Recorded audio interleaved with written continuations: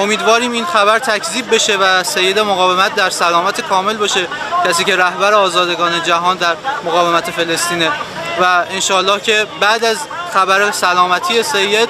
انتقام درخور رو ما از اسرائیل بگیریم و این انتقام به نظرم نابودی کامل این رژیم و محو شدن اسرائیل از صحنه جهان Subscribe to our YouTube channel. Don't forget to like our videos and hit the bell icon to stay updated with the latest.